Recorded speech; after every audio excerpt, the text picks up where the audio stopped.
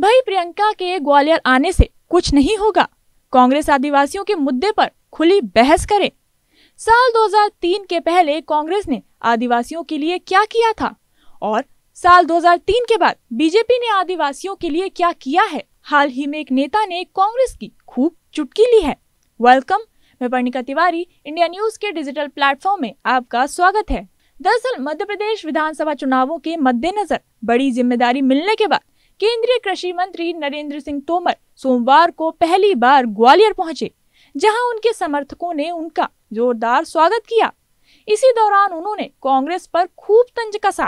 कांग्रेस द्वारा आदिवासी स्वाभिमान यात्रा निकाले जाने पर केंद्रीय मंत्री नरेंद्र सिंह तोमर ने निशाना साधते हुए कहा कि कांग्रेस बता दे कि साल 2003 के पहले उन्होंने आदिवासियों के लिए क्या किया था और 2003 के बाद भारतीय जनता पार्टी ने आदिवासियों के लिए क्या किया है। इसके लिए भाजपा खुली बहस के लिए तैयार है।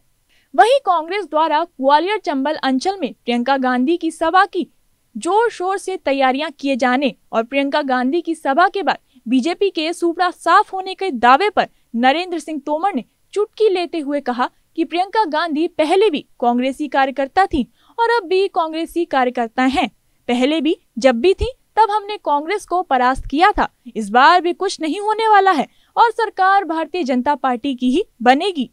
इस दौरान जब मीडिया ने उनसे बातचीत में कूनो अभ्यारण में अफ्रीका से आए चीतों की लगातार मौत होने पर सवाल पूछा तो उन्होंने कहा कि चीता परियोजना महत्वाकांक्षी परियोजना है। इससे क्षेत्र में पर्यटन और रोज़गार बढ़ेगा, लेकिन स्वाभाविक रूप से जब नए प्राणी किसी दूसरी जगह से नई जगह भेजे जाते हैं तो जलवायु परिवर्तन के कारण कुछ परेशानियाँ भी आती हैं।